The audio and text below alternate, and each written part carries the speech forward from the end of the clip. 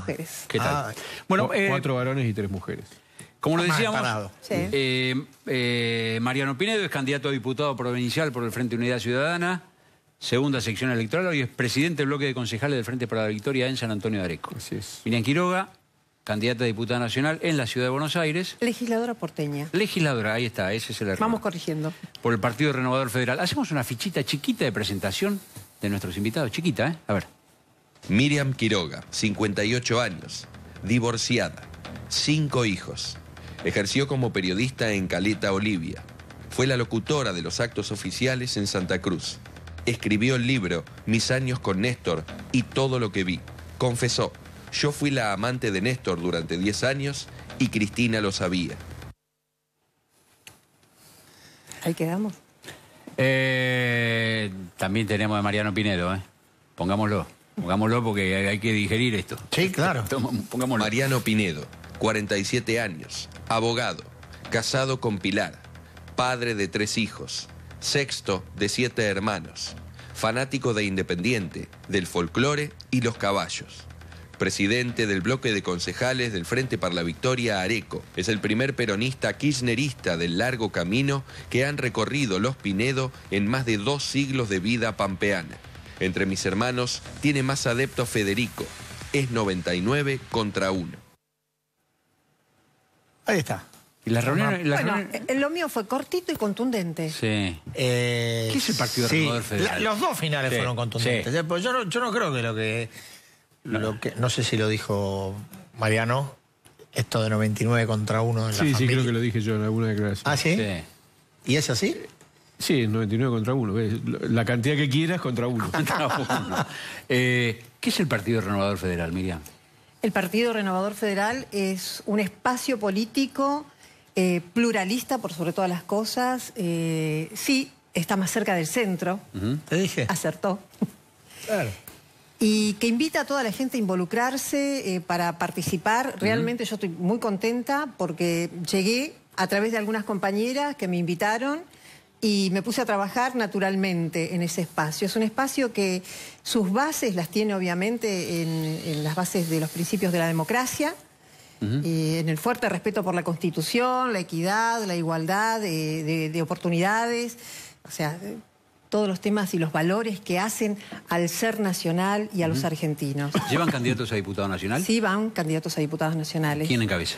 Patricia eh, Dasta, en primer lugar, y en segundo lugar, este, el nene San Filipo. Ajá. Ah, el nene San Felipe. Sí, sí. Muy bien. Y bueno, en primer lugar, de legislador porteño, es un legislador mandato cumplido. Jorge Mercado fue sí. por dos mandatos cumplidos en la legislatura, estuvo.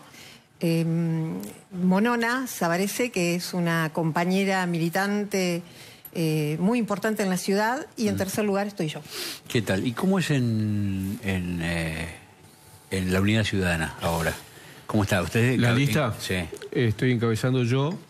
La, la segunda es Patricia Moyano, que es de Zárate, una compañía que trabaja mucho en desarrollo social. Después viene Marquitos Di Palma, que está tercero. Ah, Marcos. Marquito Di Palma es el, el amigo de Sergio Berni. O Berni vendía que él lo iba a poner Queda- a Berni sí, en. que iba a poner a Di Palma en la lista. Eh, Fernanda Díaz, que es una compañía también de la Cámpora. Y un intendente histórico de, de la segunda sección de Capital Sarmiento, que es Óscar Ostoich. Ahora, la, la- la vinculación con el peronismo es anterior al kirchnerismo o descubre el peronismo ¿La a mía? través de- Sí, sí, claro. Hace- O descubre el, peron- el, peronismo a través del kirchnerismo. No, no, yo milito en el peronismo hace como 24 años aproximadamente, no me acuerdo bien, pero en realidad siempre, desde que empecé a militar, milité allí. Primero lo hice en Capital Federal y bueno, después me fue llevando hacia un trabajo más relacionado con lo productivo, así que milité más en el interior de la provincia y en el, y en el país.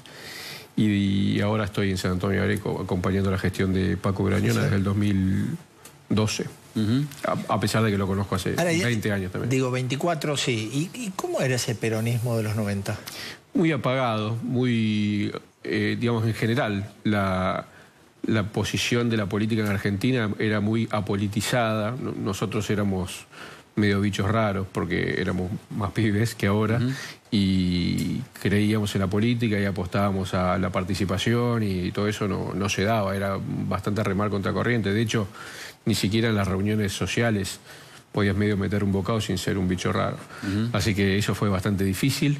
Eh, era una época, digamos, de, de- de nula participación política. Era, era difícil por la indiferencia más que por eh, una cuestión de, de- de y que en no el ámbito familiar, ¿cómo se procesó esto? Un peronista de entre tanta gente que venía de otras, de cualquiera de las otras ramas de, de la política en la Argentina. Despacito, como dijo la canción. no, bien.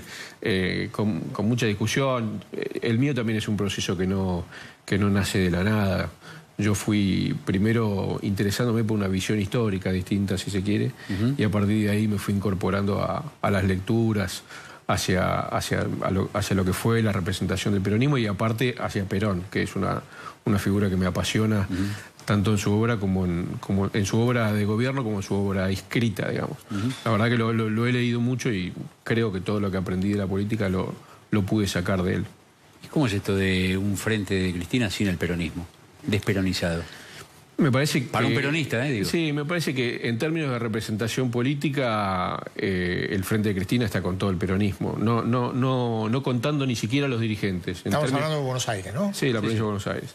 Eh, ni siquiera hablo de quiénes tiene más dirigentes y eso, porque me- yo no tengo una visión de la política de la dirigencia.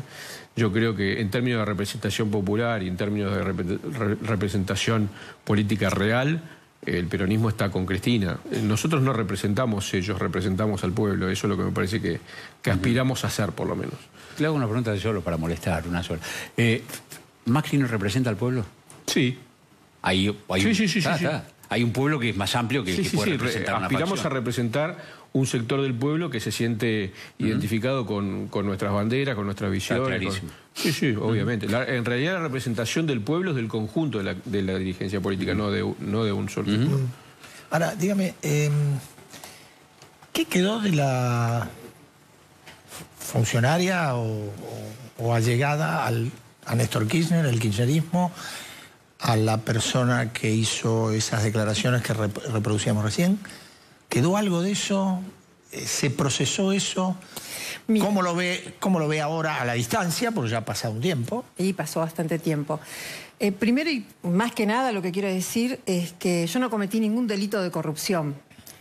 Corrupción que he denunciado, ¿sí?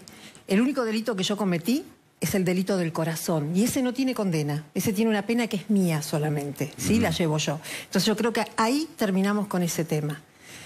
Eh, por eso yo estoy muy contenta de participar hoy en el Partido Renovador Federal. No hay distinción de colores, ni partidos, ni partidarios, ni nada. Se recibe a toda la gente, es muy plural y se está buscando involucrar a todos los ciudadanos que quieren llegar con sus ideas, nuevas ideas, nuevas ideas para mejorar la realidad de la gente de la ciudad. O sea, hay mucho para trabajar. Yo, por ejemplo, puedo decir que cuando denuncié el tema de los bolsos allá por el año 2013 en el programa de La Nata, el juez federal Luis Rodríguez me desestimó totalmente, este, sobreselló a todos los que estaban imputados. En ese momento este, eh, estaba también el ex gobernador de, de la provincia de Santa Cruz, Daniel Peralta, Daniel Muñoz, eh, su esposa, Carolina Pochetti. Me desestimó porque en un show mediático que hizo el propio juez con el fiscal Ramiro, no me acuerdo el apellido, en- que en ese momento pasaron muchos años, con los abogados de las partes, más algunos letrados, algunos secretarios letrados, fueron a la Casa Rosada a ver dónde yo trabajaba. Entonces tomaron, midieron la distancia de documentación presidencial al despacho presidencial. O sea, él negó todo. Mm, Está bien, la secretaria. Siempre fui la secretaria no nombrada, pero porque así me llamaba. Y así me conocían todos. Eh, eh, ¿sí? ¿Para usted esta candidatura y esta entrada a la política formal es como una, revancha de eso? No, revancha no. Mire, si hay algo que en mí no, no cabe, no tiene cabida, ni el odio, ni la ira, ni el rencor, es pérdida de tiempo. No, revancha para nada. No, no. Eh, siempre he participado en política, siempre. Eh, siempre participo. ¿En Santa Cruz? En Santa Cruz, siempre, siempre. Eh, ¿En el siempre- peronismo? Siempre en el peronismo, sí, sí. Eh, y bueno, hoy estoy muy feliz y orgullosa de estar dentro de este partido que me abre las puertas, como le abre las puertas a todo el que quiera participar. Y, y sin ninguna revancha, sino con el compromiso y la convicción de poder este, trabajar. El Partido Renovador eh, no está esperando llegar. Yo sé que vamos a llegar. Estoy pero convencida de que este partido va a llegar. Y se va a posicionar muy bien. Sino que ya está trabajando. Ya presentó un proyecto en la legislatura porteña. Porque los, los porteños hoy están bastante asfixiados, ¿no? Con todas estas demandas, impuestos. ¿Cuál es el proyecto que presentó? Un impas de 24 meses y parar el tema de los impuestos. ABL, patente que han subido. ¿Dejar de subir o dejar de pagar? No, no, por 20 no, no, no, congelarlos. Ah. ¿Sí? No, no, dejar de pagar, no. Ok. por 24 Dos meses años sin dar aumento un de re- impuestos. Claro, dar un respiro. Y los sellos también. Ese proyecto ya entró a la legislatura porteña. Dígame, bien. Pinedo, una pregunta. Eh, yo me imagino la opinión que tiene sobre el gobierno de Macri. Eh, ¿Hay alguna distinción que usted hace respecto de la gobernadora Vidal en provincia de Buenos Aires, de la gestión de alguna medida puntual que usted puede decir, bueno, la verdad que esto me parece más o menos bien? ¿O es todo lo mismo, como le decía antes a Tayana? A, mí me parece que, que, en primero y principal, es evidente que Vidal eh, participa del mismo proyecto político que Macri, por lo tanto participa de las decisiones que toma el gobierno nacional y de las consecuencias de esas decisiones. Eh, entre otras, eh, en donde ha participado más fuerte es, por ejemplo, en el tema tarifario.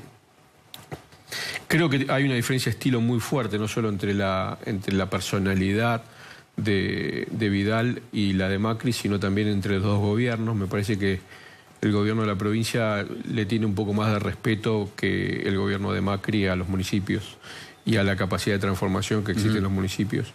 Ese creo que va a ser uno de los grandes desafíos que por lo menos yo personalmente voy a asumir en la legislatura, que es realmente eh, blanquear la realidad de los municipios y, la- y su capacidad de transformación real, de planificación y de transformación cerca de las organizaciones y de la gente. Y, y hoy que hoy está absolutamente desencajado del sistema legislativo, tanto de la constitución de la provincia como de, como de, la, de la normativa que lo regula. Me parece que esta es la diferencia que yo observo, que es eh, que es más respetuosa de las figuras y, y de las decisiones del municipio con enormes eh, diferencias que estamos teniendo actualmente en, en términos de lo que es gestión de obras y otro tipo de cuestiones serias. eh, serias digo porque afectan a la población. Por ejemplo, el caso de las inundaciones, eh, de las obras relacionadas con las inundaciones. Pero esto, si vos me preguntás la diferencia, encuentro más por ahí. Última pregunta, cortita la hago. ¿Usted volvió a tener eh, relación, contacto con la gente con la que trató tantos años trabajando junto a Néstor Kirchner y a Cristina también? No, Después si- de todos esos yo estuve totalmente eh, perseguida, amenazada, ¿cómo voy a volver? Por ellos mismos. No, yo estuve viviendo momentos muy difíciles. Es decir, yo no me beneficié de la función pública. Yo fui a trabajar, estuve con dos presidentes y no me beneficié. Como entré, me fui y peor. ¿Sí? Yo creo que hoy nosotros es importante ver esto que están haciendo ustedes, mostrando las caras nuevas en eh, esta participación política, porque es importante ver caras nuevas. Yo ya estoy cansada de 200 vivos que en este país en más de 40 años se reciclan permanentemente y no se van. Están siempre ocupando un cargo. En la ciudad, en la provincia, en la nación, son diputados, legisladores, senadores, siempre están ocupando, no se van. Entonces es tiempo de que surja la nueva dirigencia. Y está bueno que ustedes la presenten. Gracias a los dos, eh, que tengan eh, mucha suerte. ustedes. Gracias por habernos acompañado. Nosotros, Gracias. director, vamos a repartir premios como cada jueves en el cierre. Hay una